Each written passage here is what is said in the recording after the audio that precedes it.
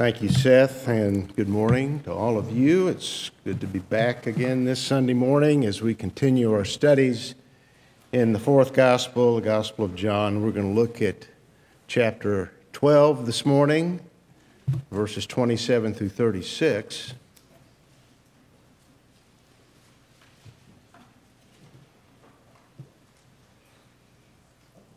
Now my soul has become troubled.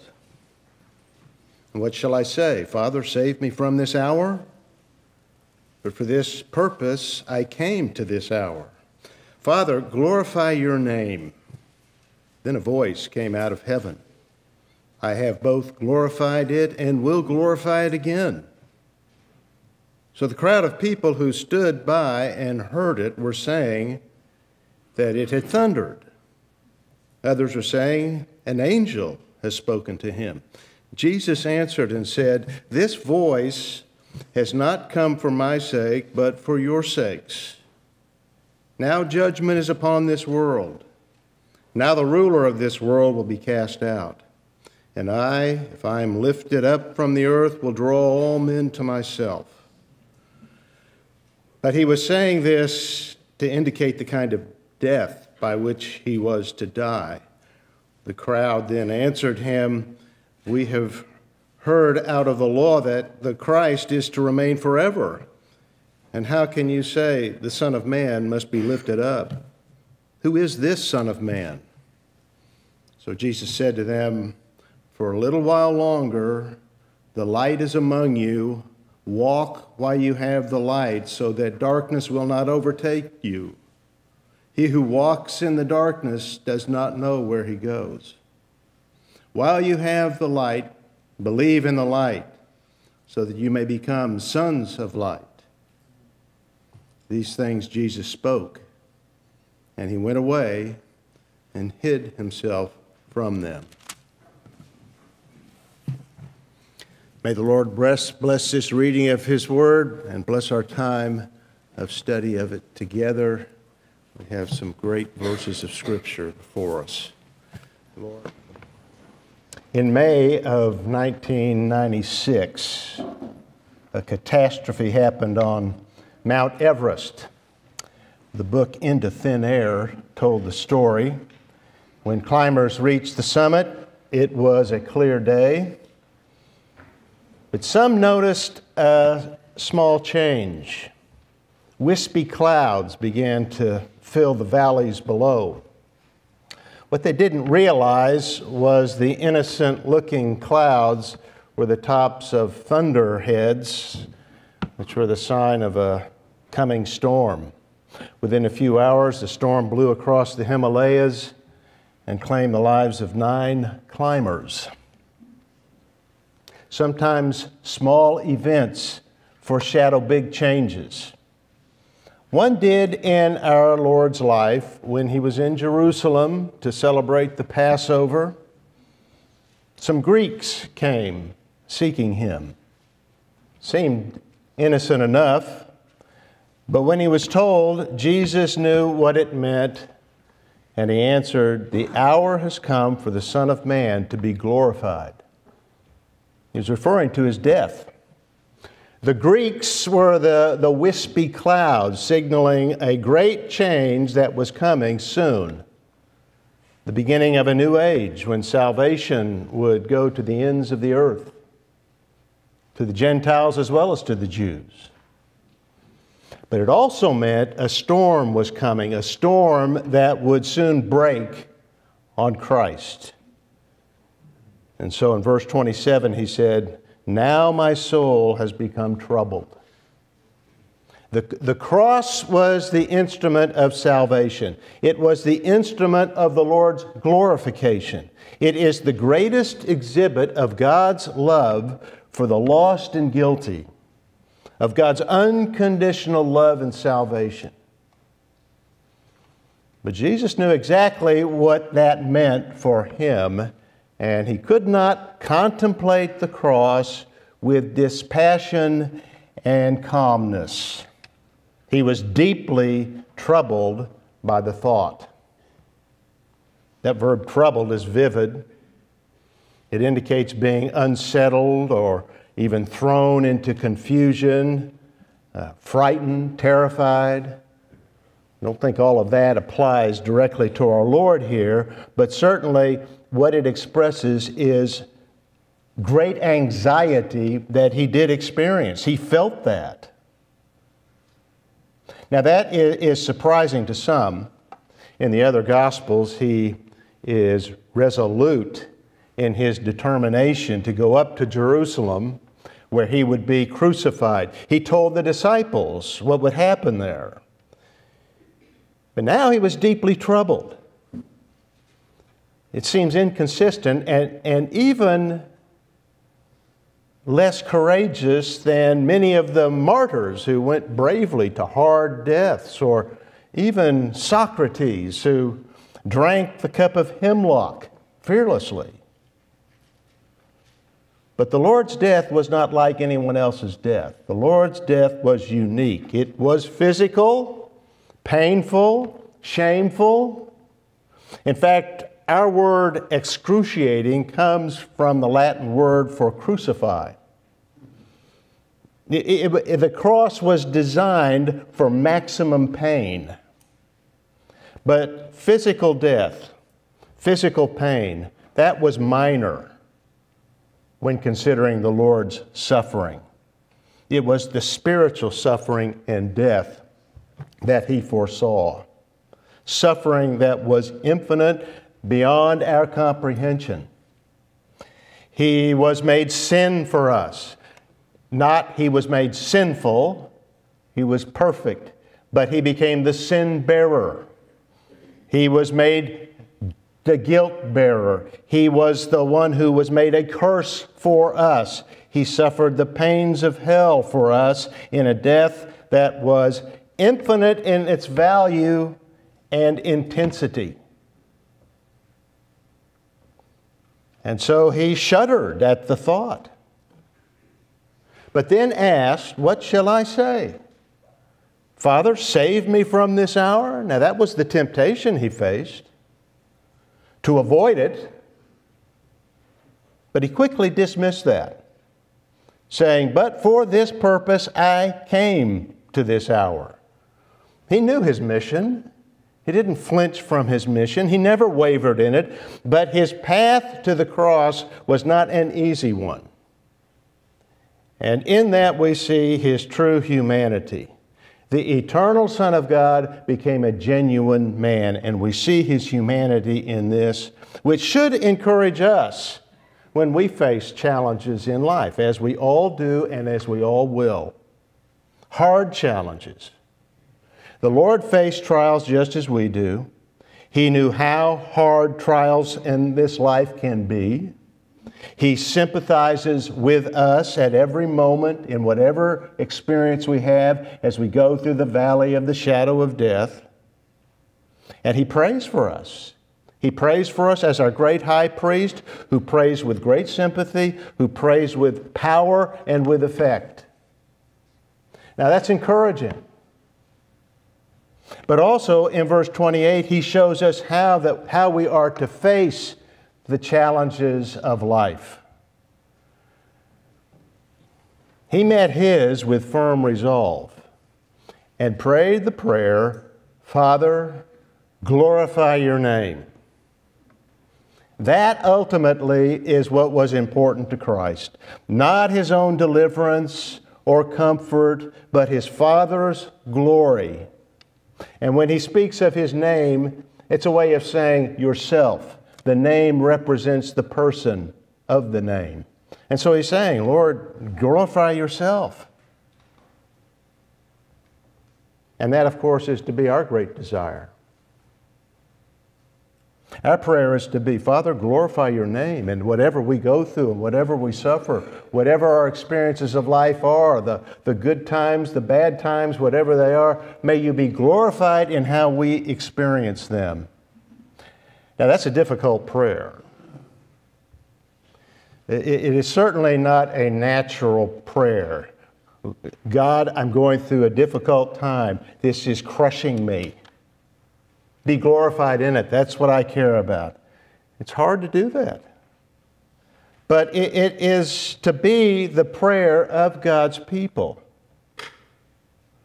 But we pray to God, and this is essential for us to understand, the way our Lord did as Father. That's what He is. The one who allows us to be tested in life cares for us as a father who is all wise and all caring and brings nothing into our lives that will not ultimately be for our good and our glory. Because whatever we suffer for Him, whatever we suffer for His name, whether it be as we seek to witness for Him or simply go through the trials of life and people watch us and how we respond, regardless, we're to seek His glory. And when we do that, we know that He will pour out His glory on us and glorify us. That's what Paul told the Corinthians in 2 Corinthians chapter 4 verse 17. For momentary light affliction, he wrote, and it doesn't mean you know, the easy things of life. Well, that plus the tough ones momentary light affliction is producing in us an eternal weight of glory far beyond all comparison. In other words, as difficult as the trials may be, they are light in comparison to the glory that God will give in, repla- in place of them. God's not indifferent to the challenges that we face. He's far more aware of what we're going through and what we will go through than we are. He's not indifferent. He will bless us for them. He did that for his son, and he answered him immediately in a voice out of heaven I have glorified it and will glorify it again. His name, his person, had been glorified in the past and in the present in Christ's supernatural birth throughout his perfect life and ministry among men with his teaching and with his miraculous signs. God was glorified in that. And he would do it again by shining forth his, his glory, uh, seen in his love from the cross, and showing forth his power in Jesus with his resurrection and his ascension into heaven. He had been glorified, the Father had, and he would be glorified in the future. God always answers submission with blessing, obedience with glory. He did with his Son, and he will do that with us. Now, that was a great encouragement to Christ. But it was also in, intended for the benefit of the bystanders there. As the Lord says, this voice has not come for my sake, but for your sakes. I think we could probably understand it in this sense. This voice has not come for my sake only, because I think the Lord was greatly encouraged by that. But the real reason it, was, it came and why this voice was heard was for the sakes of those who were there standing and hearing and watching him. It, it was a sign to them. But like we see so often in the Gospels and in this Gospel, they did not understand the sign. To them, it was just a sound.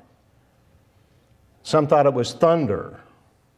Others could detect some kind of a voice in it. And they thought an angel was speaking to him. So the fact that a voice spoke from heaven was sufficient to alert them, whether they understood it or not, alert them that something important was happening here. And what that was, the Lord now explains. The hour was coming, and it would be an hour of judgment on both the world and on the devil. Now, judgment is upon this world. Now, the ruler of this world will be cast out. The world thought that it had passed judgment on Jesus when it rejected him.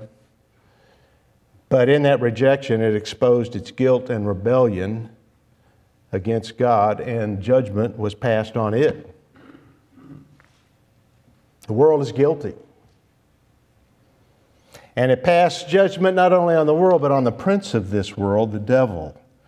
What appeared to be a victory to him in the crucifixion of God's Son was actually the Lord's victory and Satan's defeat. It was the fulfillment of the earliest prophecy given in the Bible in Genesis chapter 3, verse 15, that the deliverer would come and crush the head of the serpent. That happened at the cross. He is still active, but as Luther put it, his doom is sure. He is a defeated enemy and in the future will be cast out cast out of heaven in the great tribulation, and finally cast into the lake of fire forever. Never more to trouble the souls of men. But the, the hour of judgment would also be an hour of salvation for multitudes because the Lord adds, And I, if I am lifted up from the earth, will draw all men to myself. He was referring to his crucifixion. That's clear from verse 33, where John explains he was saying this to indicate the kind of death by which he was to die. On the cross, he was lifted up from the earth, and there he was punished for our sins. But then he was lifted up from the grave and up to heaven he was lifted up in execution and he was lifted up in exaltation. And this word, this word lifted up is used in both ways in the New Testament of execution and exaltation. But the, the cross was the, the first step in that exaltation, and, and it's the first meaning here, as John explains. And because he was lifted up on the cross, he is now drawing men, drawing people, men and women, to himself, drawing them to himself as a, not as a, a good teacher or a brave martyr, but drawing them to himself as God's Son and the crucified Savior. It is only because of the cross that they are drawn to Him. The cross has an attracting power.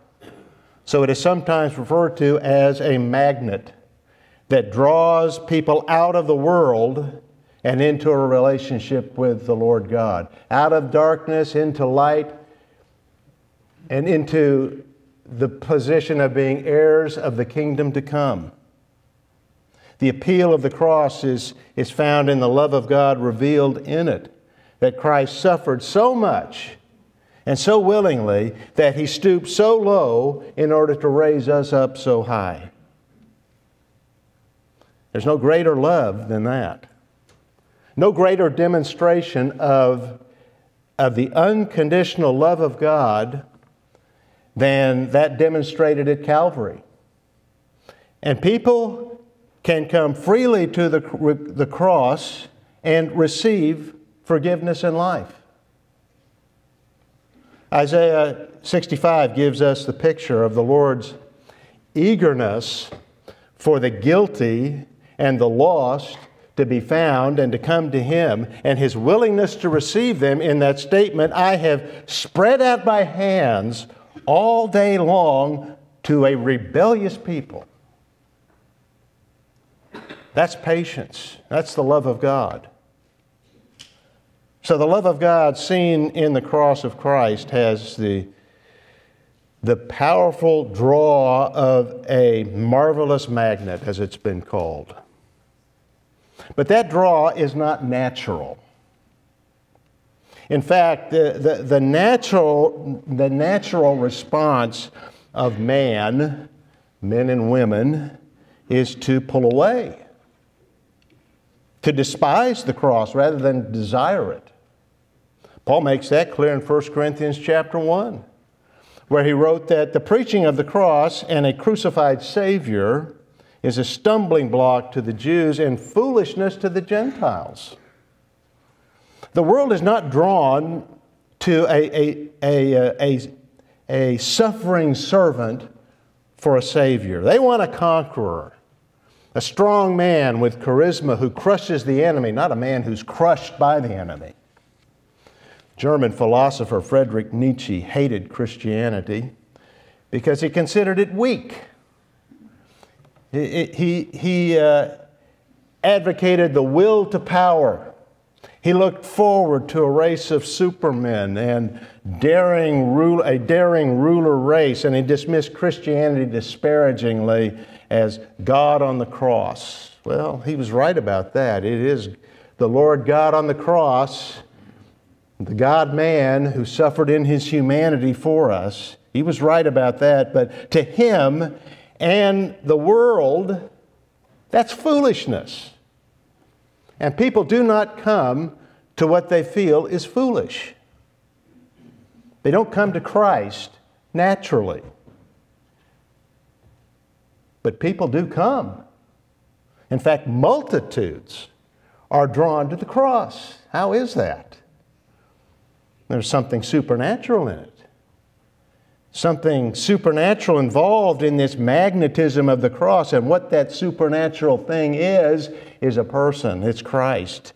He's the one who draws. He said that, and I will draw all men to myself. But he does that on the basis of the cross, on the basis of his death, which in a sense permits or authorizes him to draw sinners.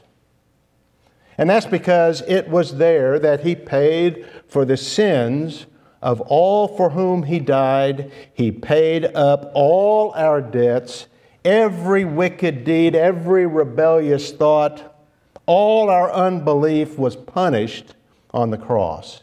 It's finished, he said. We'll read that later in chapter 19, verse 30. It is finished. That was a triumphant statement. The mission was complete and sufficient. There's nothing left to punish, no penalty left to be paid. He bought us, He ransomed us at the cross, and now nothing is left to do but bring us to Himself. It's His work, it's the work of the Godhead from start to finish. That was stated earlier, as you'll remember, in chapter 6. We have these great statements of the sovereignty of God in that chapter, but in chapter 6, verse 44, the Lord used the same word as used here in the statement No one can come to me unless the Father who sent me draws him. So the Father draws people, and here the Son draws people. It's not in conflict. This, this drawing is the work of the Godhead the Father, the Son, the Holy Spirit. It's always successful. That, that word indicates that. It never fails. People may resist. There's often a, a spiritual struggle in the human heart, but human resistance to this drawing of the Lord is never final and never triumphant. The Lord is triumphant. And that's clear from the use of this word, whether it's, it's uh, drawing a fishing net out of the sea or drawing people. The drawing is always successful. God always completes what He is doing. This drawing is not partial. It doesn't work for some and not for others. All he draws come.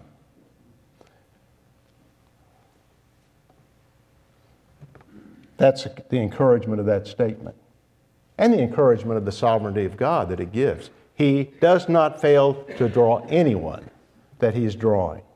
In theology, that's called irresistible grace. And some don't like that expression because there is some resistance that we give, people give as they're feeling a sense of conviction.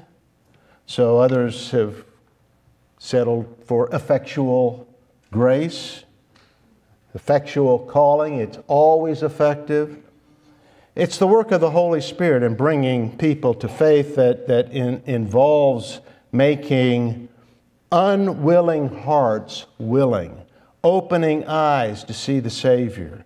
When a person has, has spiritual eyes, and sees the reality of Christ, His beauty and grace and the reality of his or her own condition, the fallen condition, sinful fallen condition, guilty condition, and in light of Christ and his love, he or she naturally and gladly and inevitably comes to Christ, believes. People are drawn to Christ, drawn to Christ, not driven to Christ, not forced to come to Christ against their will. That's not the way it is at all. They come, they're drawn drawn by grace and grace that is universal. That's the, uh, the, the broad scope of this because the Lord says that He will draw all men to Himself. Now, obviously, all men does not mean all who will ever live. The entire number of the population of the world, whatever that will be, is not what he's speaking of here.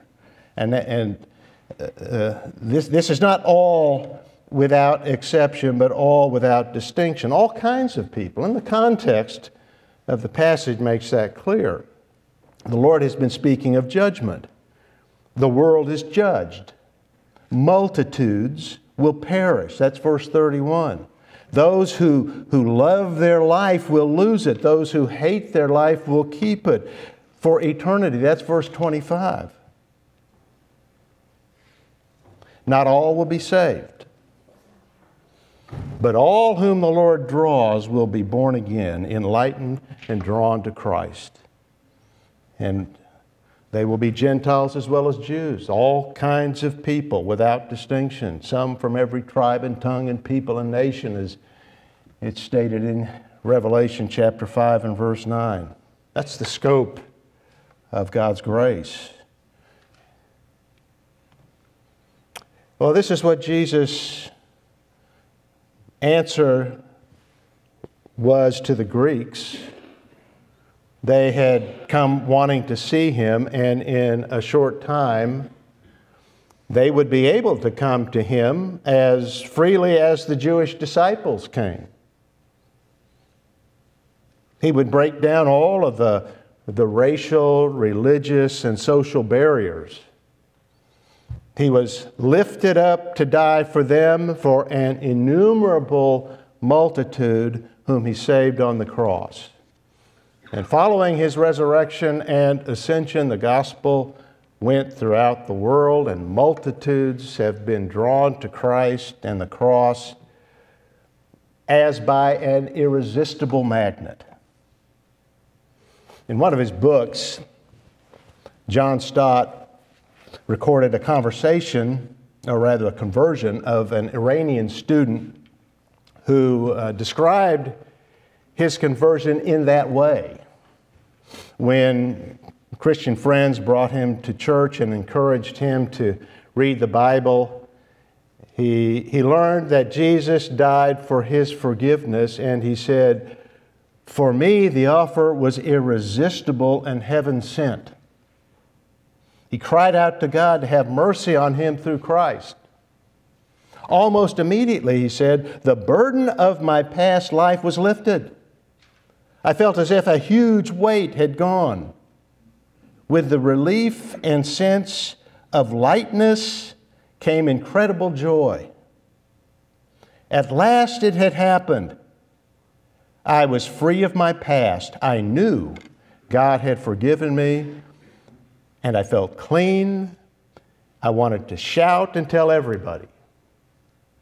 Stott wrote, It was through the cross that the character of God came clearly into focus for him.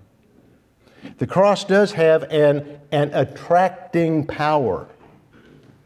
That's the, that's the Lord's promise. And I, if I be lifted up, if I am lifted up from the earth, will draw all men to myself. That is certainly because when he laid down his life for the sheep, he paid for their sins in full. It's finished.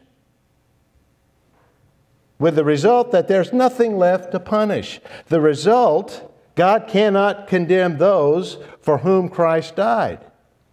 He must forgive because our substitute has already suffered everything in our place. Otherwise, God would punish the same offense twice once in Christ and then again in the sinner. But that would be unjust. God cannot be unjust. And so, because of Christ's death in our place, the Holy Spirit applies the benefits of the cross to His people, and they are drawn to Him through faith. Because He was lifted up to die, we are lifted up to live and live forever. Now, all of this caused a response from the crowd that was uh, gathered around him. Earlier, Jesus had referred to himself as the Son of Man. Verse 23 The hour is coming for the Son of Man to be glorified. They knew that he was speaking of himself as the Son of Man, which is a messianic title. And glorified was something they could understand of the Messiah, but this idea of being lifted up puzzled them greatly. Evidently, they sensed from that that he was going away, lifted up, being taken away somehow. So they, they wanted to know what kind of Son of Man is this that is lifted up? They, they had some reason for believing that the Messiah would be eternal. The Bible taught that uh, he would remain forever in the text that they may have referred to, that the, the text that, that gives us originally this title, Son of Man, Daniel chapter 7. In, that night vision, Daniel sees heaven and, and one like the Son of Man coming to the Ancient of Days and receiving glory and a kingdom. And in verse 14, Daniel wrote, His dominion is an everlasting dominion which will not pass away. There are other texts like 2 Samuel 7, verse 13, where the Lord said he will establish the throne of his kingdom, the throne of the, the Son of David, the throne of the Messiah, forever. That was the, the, the Messiah that they were expecting an eternal king. But there are also passages that describe the Messiah as the suffering servant, the suffering Savior. Psalm 22 they pierced my hands and my feet. Well, David wrote the psalm, but David's hands and feet were never pierced. It's, it's a description of the Messiah, it's a prophecy. Isaiah 53, he is described as smitten of God, pierced through for our transgressions a lamb led to slaughter, cut off out of the land of the living. Zechariah chapter 13, verse 7 speaks of the, the shepherd who is slain by the sword that God commands to strike him down. There are numerous passages in the Old Testament that indicate that the Messiah, the Son of Man, would enter his glory and power through suffering, through death. But the Lord didn't cite any of those texts or others in response to the crowd. He, he didn't even answer the crowd's question.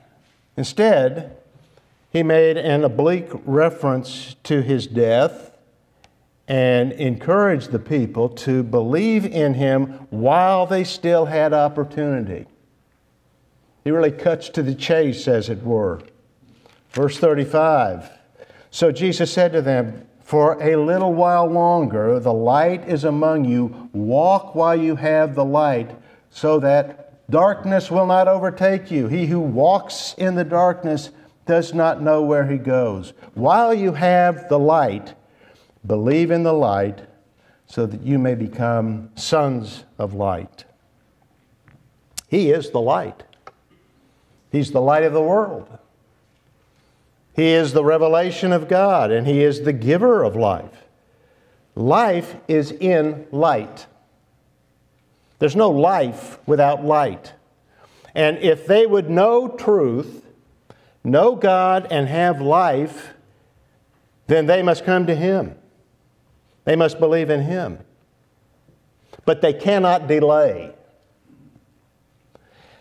And that's the warning in his words. He would be taken from them by the cross, and it would not be easier to put their trust in him after the cross. Darkness would follow. They would not have the revelation of his words and deeds. And so the time for them to believe was then, while they had the opportunity, while they had the light shining before them. It's not enough to have illumination. It's not enough to have light. Not enough to have truth. A person must also respond to it. A person must believe it. People must put their trust in Him, in Christ, as the light, as the Son of God, the Son of Man, the Savior of the world. Those who do are given a great promise. They become sons of light. They know the truth and, and reflect His life and grace in their lives. They're made into new creatures. They walk in the light. They live by faith and obedience in Him and bring great glory to God. That was the Lord's invitation to the people. And with that, He left them. He went away, John said. But He didn't leave them with a warning only, He left them with hope.